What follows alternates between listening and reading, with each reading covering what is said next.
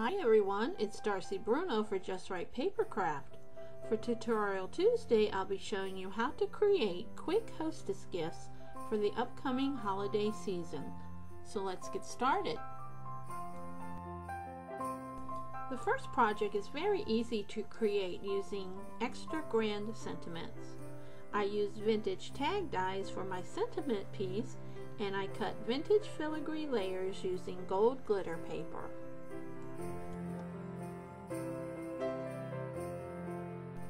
I wrapped the box of candy with gold mesh and added a bow for elegance.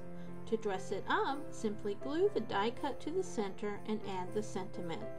A lovely gift for the hostess with minimum fuss.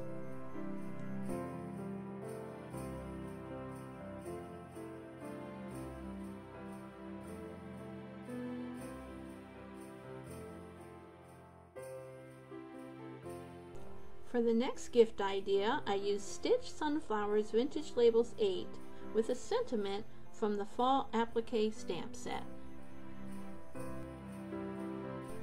I used the coordinating SVG files to cut out my shapes for the stamps using the Cameo machine.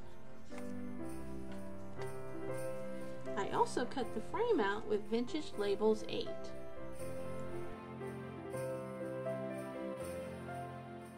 I wrapped a bottle of wine with burlap and added a gingham bow before gluing my stamp pieces. This is a great gift to give to the hostess and can fit any occasion by switching the stamp sets.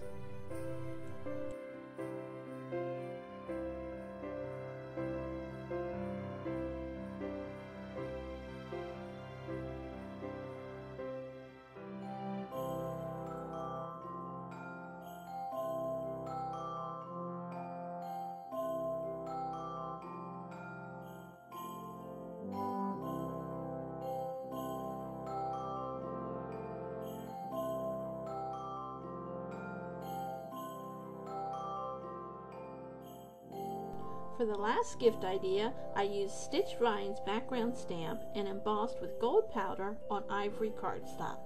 You'll make four panels for this project.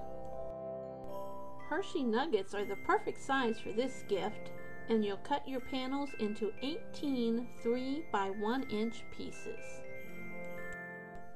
Wrap the candy as shown and secure with scotch tape.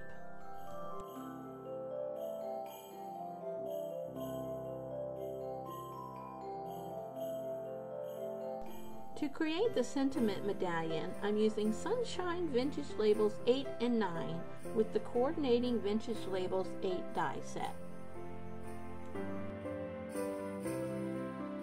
My sentiment from the Mix and Match Sentiment set was embossed with gold powder and cut out with Vintage Labels 7. I then added gold to the edges with a pen.